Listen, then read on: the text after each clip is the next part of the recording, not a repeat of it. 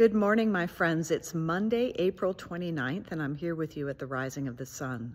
I am in the cathedral, but the lights are off, the sun is rising, and the reason I'm here is I wanted to show you our east window. As you can see, this is a depiction of Christ coming again. He's holding out his hand to welcome us. Behind him is a rainbow.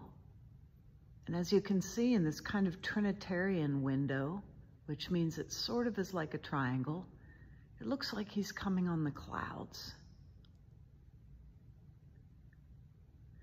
This is the eastern direction of the church, the way the sun rises. All liturgical churches face east so that when the sun rises, we see the Son of God reflected in its light.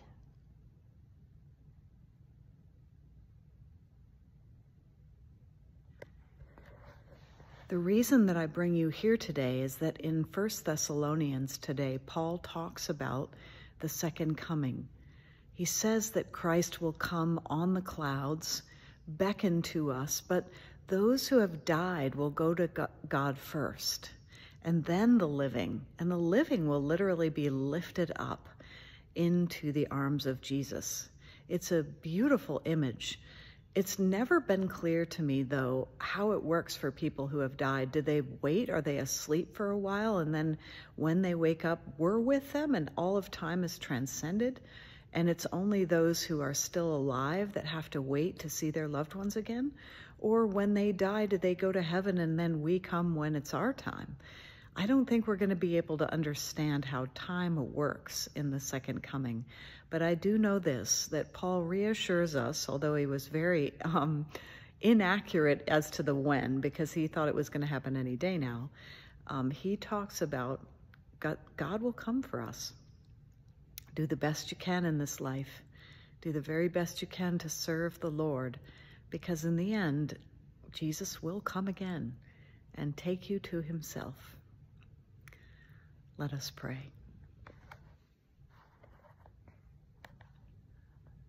Almighty God, as people who love Jesus, we so want to see you. We want to see your face. We want to see you coming on the clouds. We want you to bless us and call us to you. We can't wait to come with you to where you are, and there we may be also. We thank you that you haven't forgotten us and that you come again.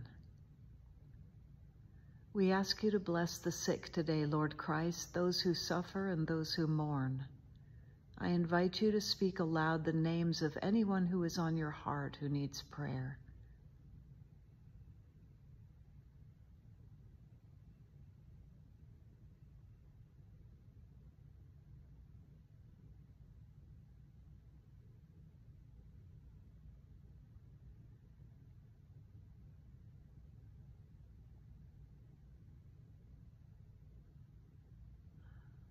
Lord Jesus, we love you and we want to serve you. Call us into your service today. Bring peace to this world. Give us appreciation and reverence for this beautiful earth. Draw us closer to your kingdom, Lord, that when you come again, we may recognize you as love incarnate and run to you, fly to you as if we have always been waiting for you. In your holy name we pray. Amen. God bless you. Have a great day.